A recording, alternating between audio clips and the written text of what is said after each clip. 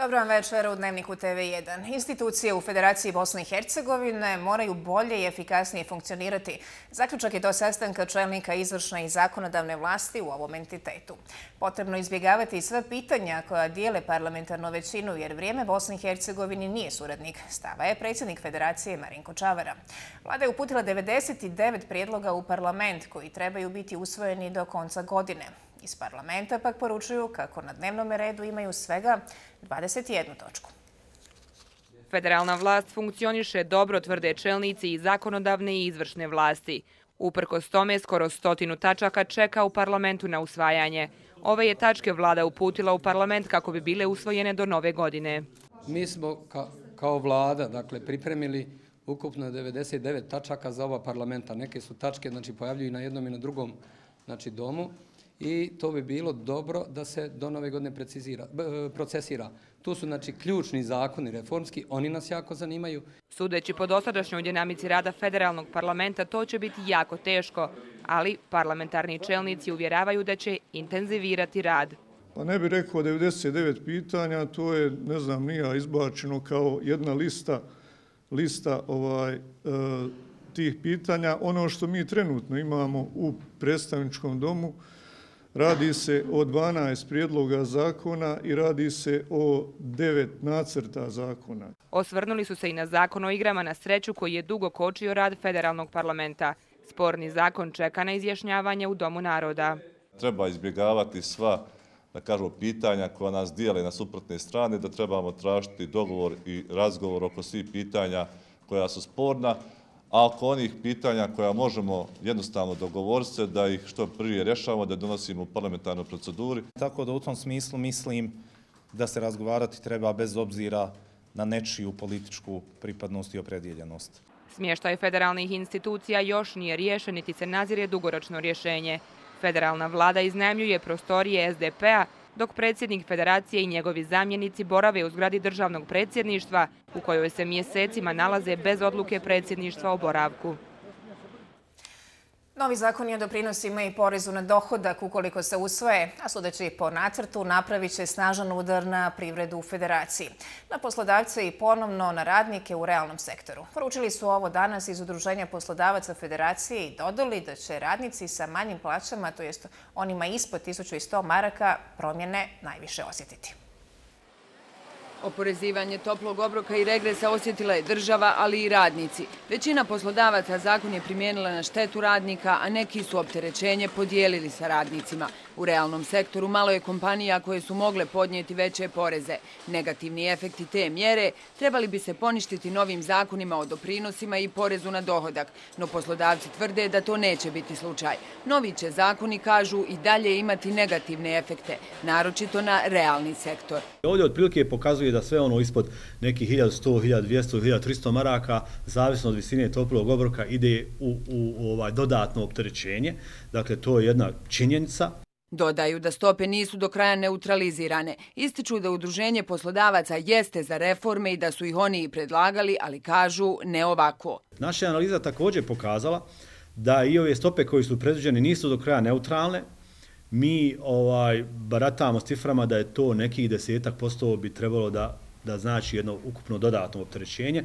Od federalne vlade očekuju da korigira ove zakone kako bi se privreda rasteretila. Kažu da bi trebalo sačekati sa usvajanjem ovih zakona, da je bitno da budu kvalitetni, a da se rokovi u ovom slučaju mogu i prolongirati. Izmjenom porezne politike, dodatni mjesečni nameti mjerit će se u desetinama hiljada maraka. Od prilike ovaj, se pokazuje da će ovim zakonom vlada eh, zahvatiti, dodatno zahvatiti mjesečno cifru koja se mjeri u desetinama miliona, dakle to nije ni milion, ni, ni, ni, ni, ni, onaj, ni dva, nego znači da, da neki 20, 25, 30, zavisno dakle od, od, od, od ovaj, nemamo precizne, nemamo te precizne podatke. Iz vlade kažu da je prerano za bilo kakve komentare. Kažu zakon je još u formi nacrta i o njemu vlada još nije raspravljala. TV1 saznaje da se neće naći na dnevnom redu vlade federacije, vjerovatno ni naredne dvije sedmice.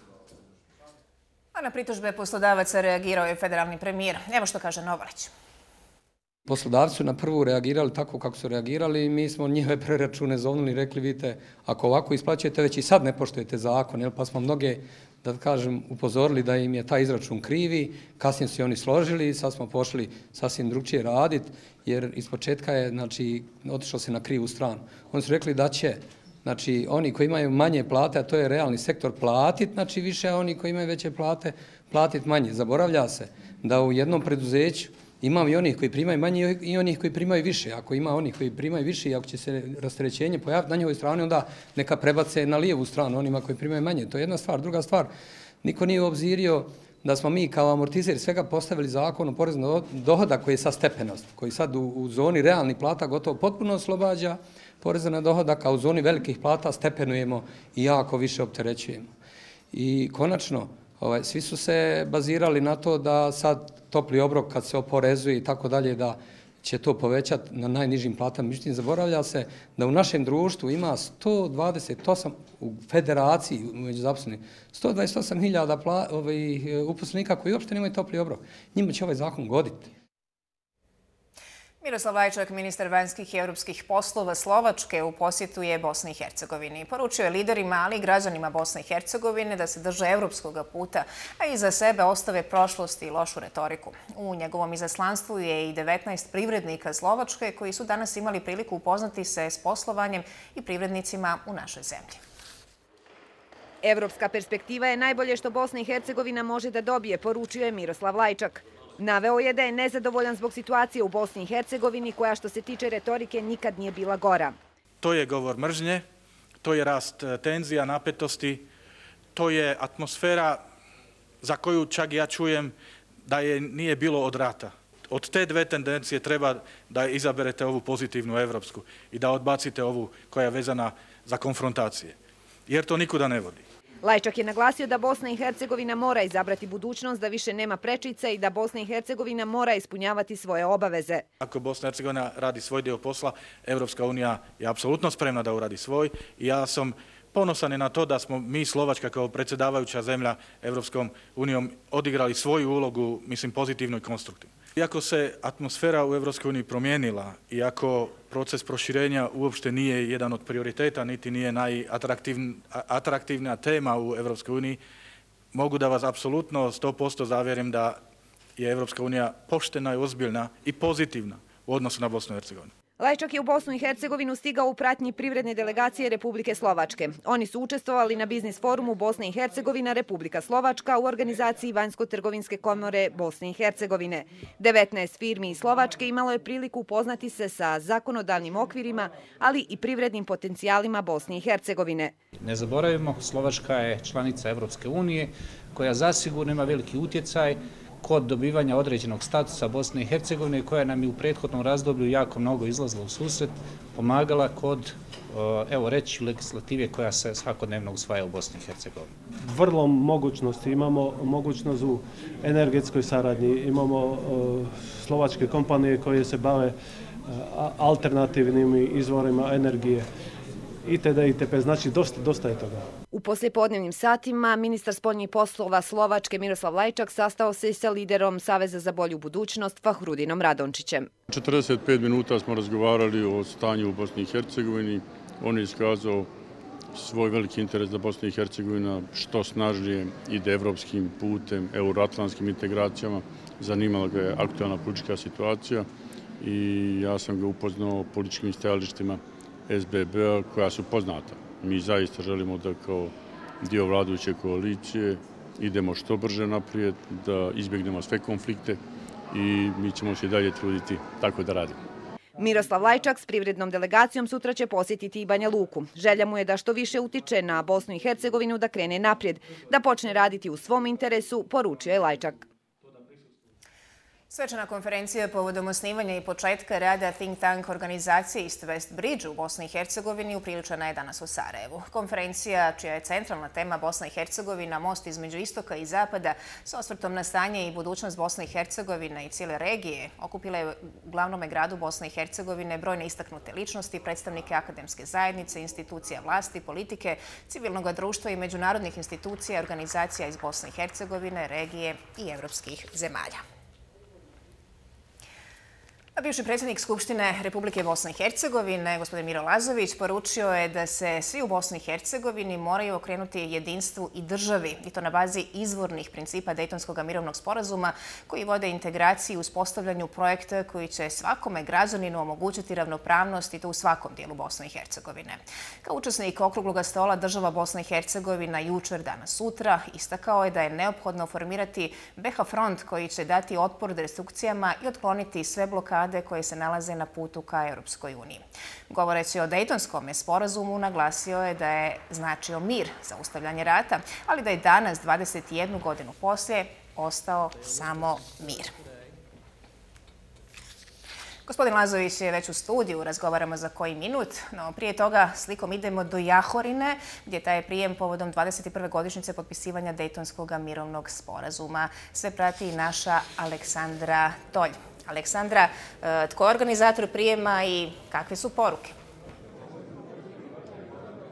E, Nikolina, organizator prijema je Srpska demokratska stranka, odnosno njen predsjednik Vukota Govedarica. E, predsjednik Srpske demokratske stranke Govedarica je večeras naš gost. Dobro večer. Dobro večer vama i vašim gledovacima.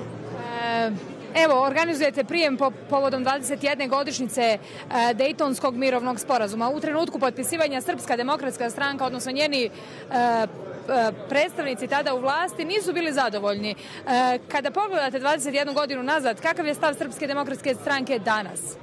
Pa ja koliko mogu da primijetim, nije bila zadovoljna ni jedna, ni druga, ni treća strana. E, I to je taj posebni kvalitet Dejtonskog dogovora koji je postignut prije 21 godinu. E, Dejton je uspio da napravi mir u Bosni i Hercegovini, a posle 21 godine možemo da konstatujemo da je Dejton uspio da e, napravi stabilnost u Bosni i Hercegovini. I ne samo u Bosni i Hercegovini, E, kada je u pitanju stabilnost. Dayton je uspio da napravi u cijelom regionu jednu stabilnu poziciju. E, šta je još uradio Dejtonski mirovni sporazum? Dejtonski mirovni sporazum je pomirio dvije potpuno različite koncepcije. Jednu koja je bila unitaristička, E, i drugu koja je bila separatistička. Naprosto Dayton je uspio da uvjeri i Srbe i Bošnjake i Hrvate da su život u Bosni i Hercegovini je apsolutno moguć sa tim Dejtonskim ključem, tako da kažem. E, danas, e, posle 21 godinu, mi vidimo da Bosna i Hercegovina može da funkcioniše populističke politike i neke retrogradne priče koje nas koče u svemu ovome, naravno, predstavljaju jednu vrstu tereta, ali ja vjerujem i ubijeđen sam da dolazi jedna svježa, e, mlada generacija političara koja e, će uspjeti da prepozna i da preuzme odgovornost i u Republici Srpskoj i u Federaciji Bosne i Hercegovine. E, konstantno imamo priče u javnosti o Daytonu 2, ustavnim reformama, promjenama, raspakivanju Daytonskog mirovnog sporazuma. E, kakav je stav u ovom trenutku Srpske demokratske stranke kada, je, kada su ustavne promjene u pitanju? Pa ja sam večerašnju noć doživio između ostalo kao moment i povod da prenesem našim prijateljima kako i na koji način Srpska demokratska stranka gleda na ustavnu poziciju Bosne i Hercegovine. Dakle, mi smatramo da Dejtonski mirovni sporazum, odnosno aneks 4, e, to jeste Ustav Bosne i Hercegovine, je dao sasvim dovoljno prostora da i jedni i drugi i treći narodi E, riješe svoje nacionalne probleme, rješavaju svoje nacionalne pitanja zajedno u e, jednoj konsocijaciji. To je jedna stvar. S druge strane, mi smatramo da e, Ustav Bosne i Hercegovine nema potrebu za nikakvom promjenom, ukoliko se dogovorene strane ne obavežu na nešto drugačije. E, dogovorene strane su, kao što znamo, i Bosna i Hercegovina i Republika Srbija, isto tako Republika Hrvatska, e, imajući u vidu da e, ja sam u ovom momentu ubijeđen po tom osnovu nema dogovora. Dejtonski mirovni sporazum ne može nikako da posmatra svoje raspakivanje u, u pravcu trećeg entiteta, u pravcu nekog prudskog rješenja ili ne znam nija kako. Dakle, mi smo na stanovištu da u ovom momentu Dejton ne treba dirati, izuzev u pogledu e, implementacije presude Evropskog suda za ljudska prava u slučaju Sejdić-Vinci, gdje e, mi imamo obavezu da, pre, da e, implementiramo presudu Evropskog suda. Mislim da smo na dobrom putu bili prije par godina.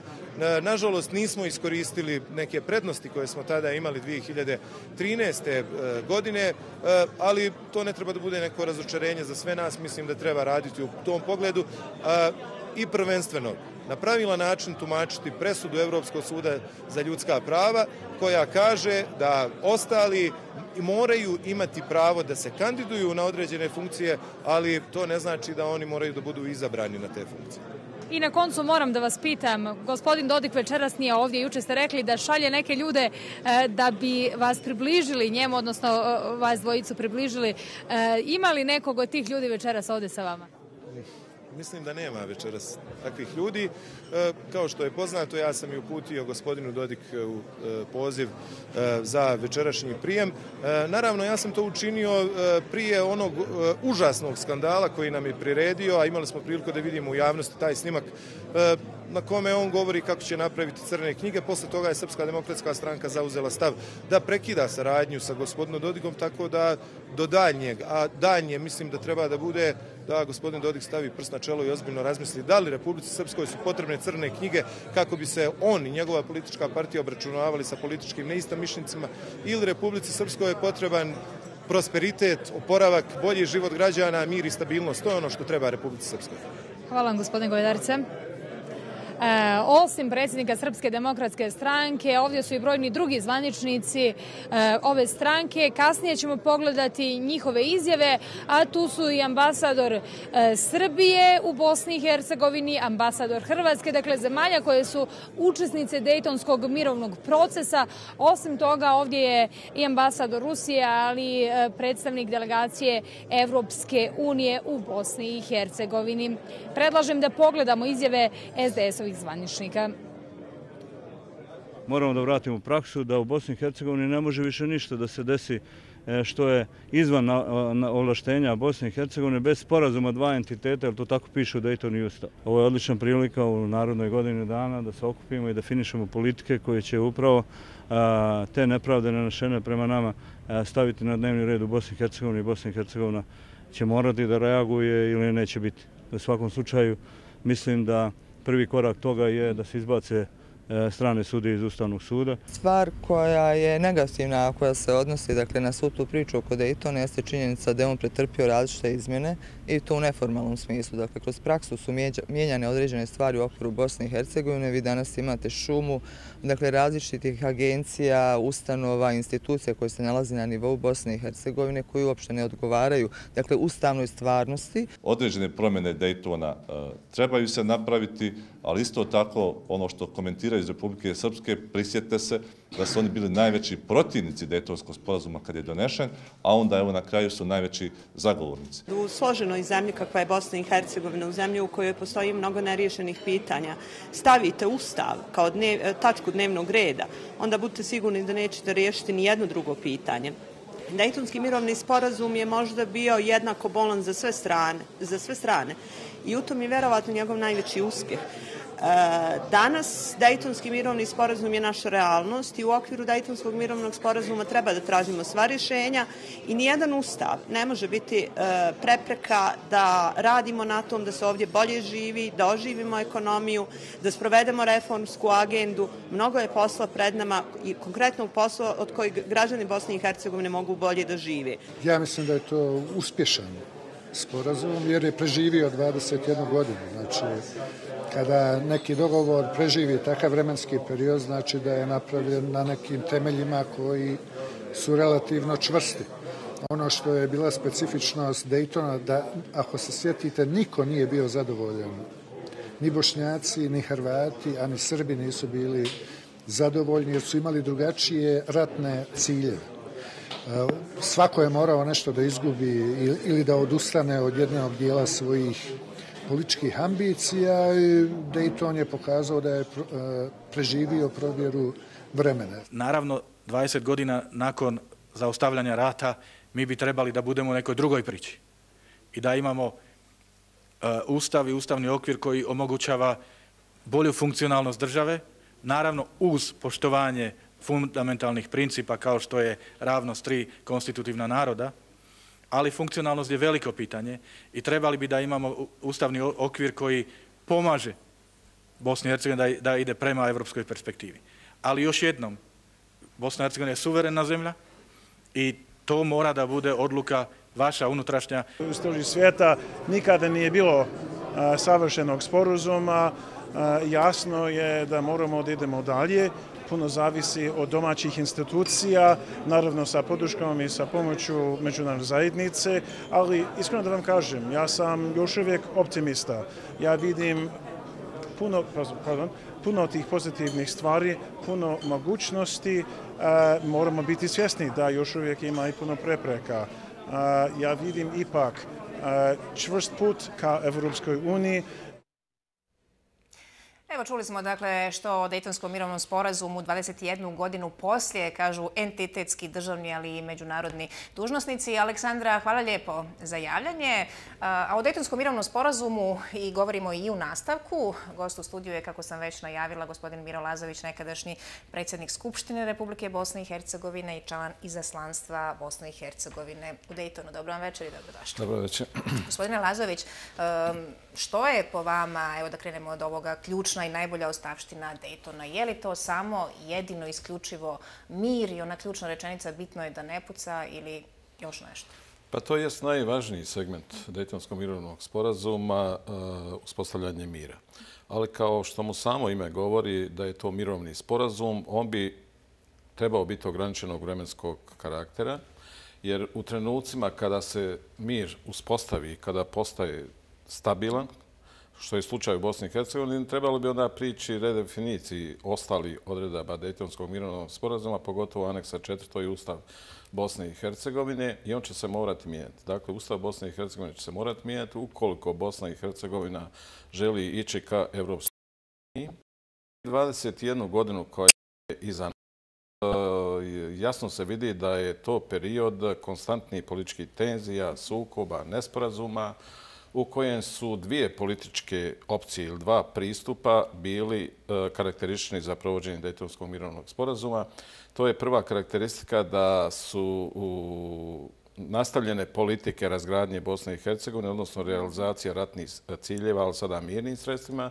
I drugi pristup koji ja pripadam moja partija, da se e, putem Dejtonskog mirovnog sporazuma koji je dovoljno širok i daje dovoljno prostora, e, reintegrira bosansko-hercegovačko društvo i država. I dakle, još se uvijek vode, da tako kažem, političke borbe između ta dva fronta.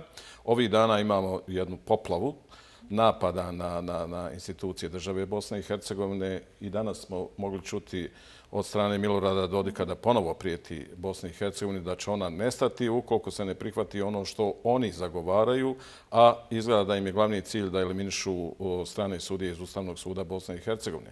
Dakle, niti će Bosne i Hercegovine nestati, niti će se e, morati igrati po diktatu Milorada Dodika, prije će nestati oni njegova politika nego što će Bosna i Hercegovina kao suverena država nestati, jer e, istorija govori da je ovu državu kroz burnu njenu istoriju, mnogo toga uh, napadalo, mnogo toga je bilo okrenuto prema Bosni i Hercegovini, ona je ostajala. Dakle, proće i ova politika uh, koja destruira Bosnu i Hercegovinu, proće i uh, ponovno ili pokušaj oživljavanja Herceg Bosne, dakle, projekta koji je poražen u ratu, a suspendovan vaštonski sporazum u ispostavljanju federacije, ali ja iz ovoga e, dakle, napada na Bosnu i Hercegovini i oživljavanja tih poraženih projekata vidim prečutnu politiku. Dodika i Čovića, dizanja političkih tenzija, kako bi se izvršila prekompozicija e, teritorijalna, prije svega Bosne i Hercegovine, ka trećem entitetu. Mislim da halabuka koja je dizana ovih proteklih dana oko, po znacima navoda, neravnopravnosti e, Hrvata je bila u funkciji upravo tih tenzija na način da se ta neravnopravnost iskoristi za, za e, ustupak ka etničkoj teritorializaciji koja bi odgovarala Draganu Čovići i vrhuške eh, HDZ-a. Ono što je bitno reći, Dejtonski mirovni sporazum je ambivalentan. On je dakle dao dovoljno prostora jednima i drugima da se bore za svoje političke ciljeve, ali ono što je potpuno jasno, ovih 20 godina ovo je imitacija od države, ovo nije država stabilna, funkcionalna, pogotovo nije demokratska, ona je puna diskriminacija. Svaki građan Bosne i Hercegovine je diskriminisan samo na različitim dijelovima teritorije, Srbi ovdje u federaciji, Bošnjaci i Hrvati u, u, u Republici Srpskoj i morat će se prijeći otklanjanju tih diskriminacijonih odredbi ukoliko se misli Bosna i Hercegovina približavati Evropskoj uniji. Kako vidite budućnost Bosne i Hercegovine? Ustvrdili ste da će Bosna i Hercegovina biti jedinstvena, cjelovita. E, međutim, što je sa unutarnjim uređenjem Bosne i Hercegovine? E, šta je s ustavnim promjenama? Jesu li nužne za nastavak puta Bosne i Hercegovine ka Evropskoj uniji? Pa u određenim segmentima ona će biti nužna. Ovakva Bosna i Hercegovina ne može biti ravnopravna ovaj, članica Evropske unije i u tom kontekstu evropski principi i standardi, pogotovo u kontekstu ljudskih prava i ljudskih sloboda, morat će biti primijenjeni i ugrađeni u Ustav Bosne i Hercegovine. To nije samo međunarodna presuda o Sejdić Finci, to su i drugi segmenti koji e, ugrožavaju ljudska prava. Na primjer, e, ime Republika Srpska je samo po sebi diskriminacijalno u odnosu na Bošnjake i Hrvate koji su po ustavu te Republike Srpske ravnopravni članovi. Pita li ko Bošnjake i Hrvate kada se donose neki potezi u Republike Srpskoj? Dakle, potpuna diskriminacija ta dva naroda je na sceni. Također ovdje u Federaciji Srbe niko ne pita, iako ih ima nedovoljno u odnosu na ovom popisu, ali su ipak konstitutivni i ravnopravni narod. Dakle, sve su to elementi koji dovode do toga da se e, grade još uvijek odnosi koji nisu na zadovoljavajućem nivou, odnosi koji frustriraju, odnosi koji e, ne dozvoljavaju da se krene naprijed. I u tom kontekstu mislim da će i međunarodna zajednica koja je garant Dejtonskog mirovnog sporazuma, medijator Dejtonskog mirovnog sporazuma, tu prije svega mislim na američku administraciju, morat se više uključiti njihova pasivna politika u u stilu pasivnog posmatranja i i, i, i rečenica sve ćemo podržati što se e, domaće snage dogovore, frustrira. E, da se mogu domaće snage dogovoriti, ove koji sada na vlasti, one to ne bi radile. Dakle, mi smo jedan više partijski sistem pretvorili u, u, u tri monoetnička jednopartijska sistema, a na vrhu tih sistema su nacionalne vođe koje uvijek manipulišu sa svojim narodom u funkciji očuvanja sobstvene moći i privilegija. Dakle, iza te nacionalne manipulacije, nacionalne politike u suštini se kriju krije zadržavanje privilegija i pljačka koja je učinjena nad sobstvenim narodom u ovom proteklom periodu. Dakle, to međunarodna zajednica mora jasno vidjeti i natirati na brze reforme, pogotovo u pravosuđu, u smislu eliminisanja koruptivni i kriminalni radnji koji su pojedinci koji danas drže vlast u činu. Gospodin Lazović, hvala vam lijepo za izdajeno vrijeme i što ste govorili za Dnevnu TV1 i naše gledatelje. Hvala vam. Molim lijepo.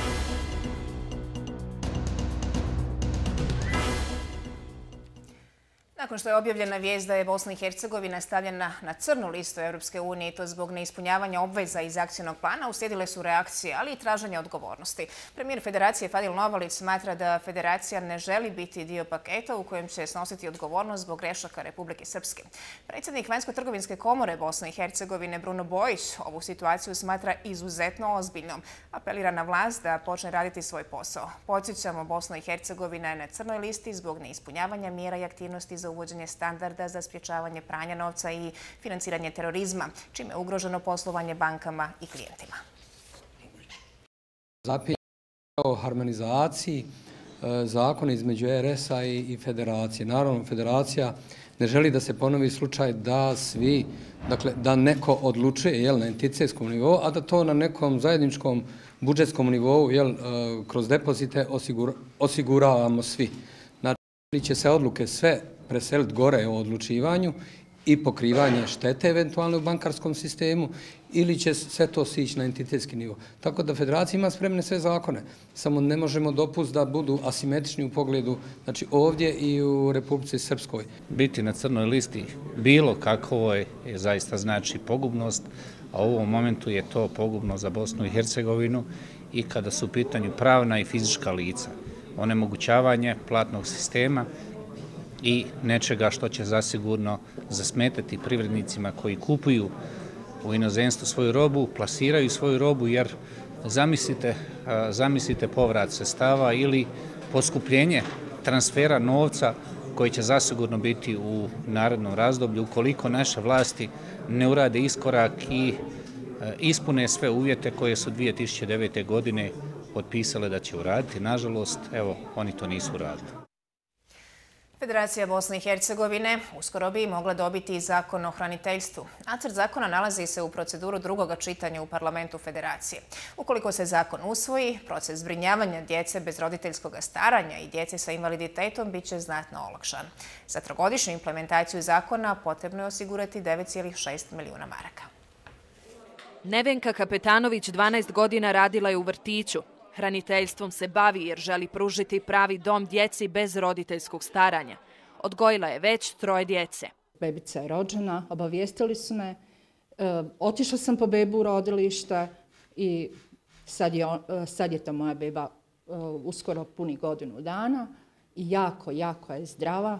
Prohodala je sa 11 mjeseci. Znači, to su, te, e, to su ti razlozi E, što dijete zdravo odrasta u porodici, što ima onaj zagrljaj kad mu je potrebno, što je rad jedan na jedan. Zapravo ja to ne bih nazvala radom, ja bih to nazvala uh, biti roditelj ponovo.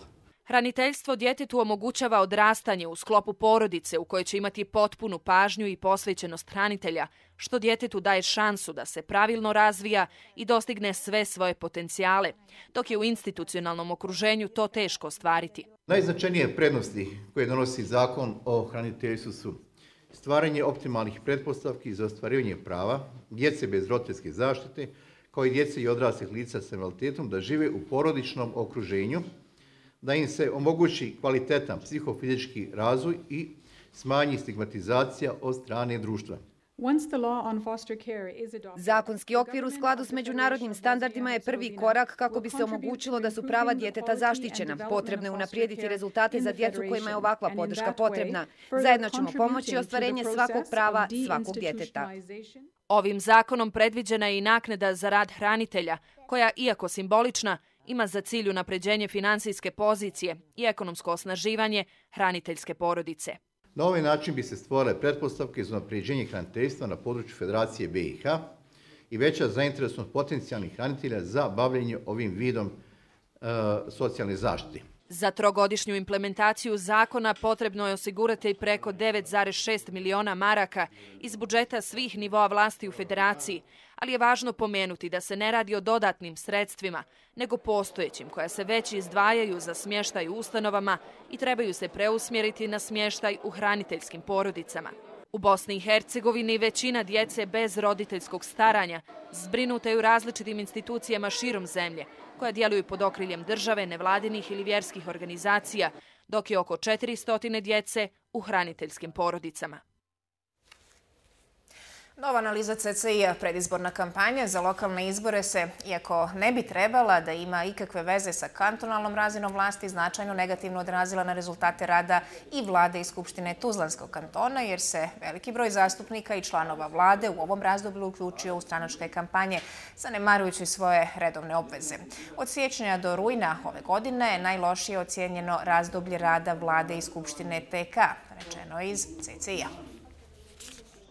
U prvih devet mjeseci 2016. godine, iako je imala čvrstu podršku skupštinske većine, koja ju je imala, bila je primjetna povremena disharmonija u radu. Posebno ističemo da je vlada nedovoljnom efikasnošću u realizaciji planiranih obaveza presudno uticala i na neispunjavanje planiranih obaveza Skupštine. E, vlada je donijela akcijoni plan e, za borbu protiv korupcije. Međutim, e, nije dovoljno što ga je donijela. Potrebno je da e, građani vide rezultate, da nastavi e, se sa njegovom primjenom i, e, i, i sa borbom protiv tog zla koje je, evo rastače, vidimo i Tuzlanski kanton. U novoj godini Federacija Bosne i Hercegovine bi mogla dobiti novi zakon o mirovinsko-invalidskom osiguranju. U federalnom parlamentu dostavljen je prije tri mjeseca, a njegovo usvajanje očekuje se do konca godine. Mi očekujemo da će biti oba dvije sjednice i predsjedničkog doma i doma naroda e,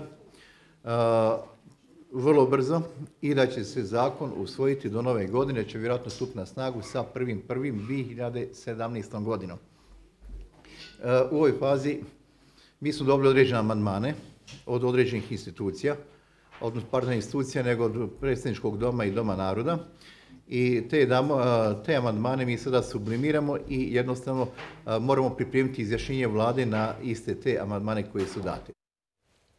Ambasada Češke republike u Bosni i Hercegovini i EU Infocentar organizirali su projekciju dokumentarnog filma o Vaclavu Havelu za studente Univerziteta u Zenici i to na 80. rođendan nekadašnjega predsjednika Češke. Studenti su bili u prilici diskutirati sa češkim ambasadorom o ličnosti i dijelu poznatog državnika i dramskog pisca koji je preminuo prije pet godina, ali i članstvo u Europskoj uniji iz perspektive Češke. Ambasador Jakub Skalnik istakao je kako je Češka voljna podijeliti svoje iskustva sa procesa procesa pristupanja Evropskoj uniji.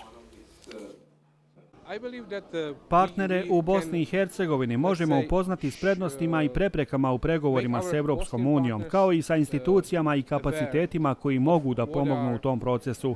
U tehničkom smislu to je jedan mukotrpan i tegoban posao.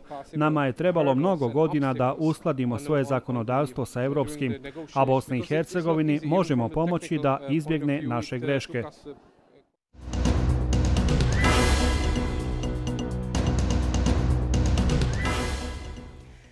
Svijet tisuća ljudi prosvjedovala u Istanbulu i to protiv prijedloga zakona pre kojem će muškarci koji su seksualno napali maloljetne djevojke biti oslobođeni ako ožene svoju žrtvu. Vlada Turski inzistira da je suština zakona borba protiv raširene pojave sklapanja brakova među djecom, ali kritičari kažu da će to samo ozakoniti silovanje. Hiljade osoba su protestovale na ulicama Istambula i ostalih gradova u Turskoj protiv zakona koji bi omogućio da silovatelji djece budu oslobođeni ako se ožene svojim žrtvama. Vladajući insistiraju da će taj zakon pomoći u rješavanju problema brakova koji se sklapaju s djecom, ali kritičari tvrde da se njime zapravo ozakonjuje sjelovanje. Demonstranti su u Istanbulu pljeskali i skandirali. Nećemo šutjeti, nećemo slušati, odmah povucite zakon. Na Istanbulskom trgu, kadi koji je okupilo se oko 3000 ljudi, od kojih su mnogi nosili transparente s natpisima, silovanje ne može biti ozakonjeno. Ovaj bijedni oblik nasilja nad djecom zločin je i trebao bi biti kažnjen kao takav. U svim slučajevima treba prevladati interes djeteta. Ja sam majka, kako bih trebala reagirati na ovo? Ne mogu vjerovati, to nije normalno i to nema smisla. Ako dopustim da se to dogodi mojoj kćerki i ako ostale majke u ovoj zemlji dopuste da se ovo dogodi, to znači da nismo majke. Ako zakon prođe muškarci koji seksualno zlostavljaju djevojčice i djevojke mlađe od 18 godina bez sile prijetnje ili bilo kakvog ograničenja, pristanka i ožene se njima mogu izbjeći progon. Turski parlamentarci krajem prošle sedmice odobrili su zakon u prvom čitanju i o njemu će se ponovo izjasniti sutra. No zbog kontroverziji koji prate ovaj zakon, turski premijer obustavio je razgovore AK partije i opozicije o njemu. Namjera zakona je da se oslobode muškarci koji su završili u zatvoru nakon što su se oženili maloljetnicama u vjerskim obredima uz saglasnost obitelji tih djevojaka. Odbacujem optužbe da je ovaj zakon zapravo amnestija za silovanje. Građanski brak kao osoba mlađih od 18 godina nezakonit je u Turskoj, ali brak muškarca i maloljetne djevojke skopljen u vjerskom obredu nije neobičan, pogotovo u ruralnim dijelovima zemlje. Najmanje 142 ljudi je poginulo, a 200 povriđeno u željezničkoj nesreći na sjeveru Indije. 24 sata nakon nesreće spasilačke ekipe i dalje nastoje izvući preživjele ispod olupina 14 vagona. Lokalni mediji navode da je vlak bio prenatrpan. Željeznička mreža u Indiji jedna je od najstarijih u svijetu, no i dalje je glavno prijevozno sredstvo na većim razdaljinama, ali je slabo održavana i teške nesreće se događaju relativno često. Najmanje 27 civila je poginulo, a 35 povrijeđeno u eksploziji bombe u samubilačkom napadu u šiitskoj džamije u glavnom gradu Afganistana Kabulu. Odgovorno za napad nitko nije preuzeo. Policija i prosvjednici sukobili su se u blizini naftovoda u izgradnju u američkoj državi Sjeverna Dakota. U nastanju da rastira prosvjednike, policija je koristila vodane topove i suzavac. Naftovod dug gotovo 2000 km koji prolazi kroz četiri američke države gradi se za prijevoz nafte od Sjeverne Dakote do Illinoisa. Protiv njegove izgradnje se mjesecima bude članovi plemena Sioux, čije se rezervat Standing Rock nalazi u blizini rute naftovoda. Oni se plaše da bi curenje iz naftovoda moglo zagaditi pitku vodu. Bivši francuski predsjednik Nikola Sarkozy priznao je poraz na održanom prvom krugu unutar stranačkih izbora za predsjedničkog kandidata republikanaca te poručio da će u drugome krugu podržati bivšega premijera Francuske François Fiona. Fion je osvojio 43,9% glasova, Juppé 27,9%, a Sarkozy 21,4% glasova pokazuju rezultati unutar stranačkih izbora. Predsjednički izbori će u Francuskoj biti održani u dva kruga, 23. travnja i 7. svibnja iduće godine. A njemačka kancelarka Angela Merkel najavila je kako će nastojati osvojiti četvrti mandat na izborima iduće godine. Ipak priznala je očekuje najtežu kampanju od ujedinjenja Njemačke. Angela Merkel prvi put je izabrana za kancelarku 2005. A ukoliko pobjedi na izborima sljedeće godine i ostane na tom mjestu, cijeli mandat izjednačit će se sa svojim mentorom Helmutom Kolom, koji je na mjestu kancelara proveo 16 godina. Evo, ova informacija je posljednja u dnevniku. Hvala na povjerenju i ugodno večer.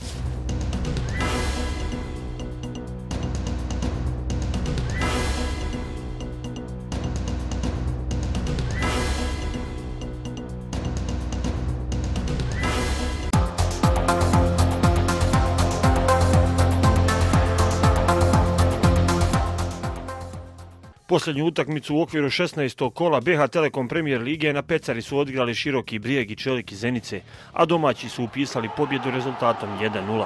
Jedini pogodak na utakmici dao je Brazilac Wagner u 83. minuti susreta. Široki se nakon ove utakmice sa 23 osvojena boda nalazi na sedmom mjestu, dok je ekipa Čelika na 11. poziciji sa samo 9 osvojenih bodova. U narednom kolu ekipa Širokog Brijega ide na gostovanje kod Krupe, dok će Čelik na Bilinom polju dočekati slobodu iz Tuzle.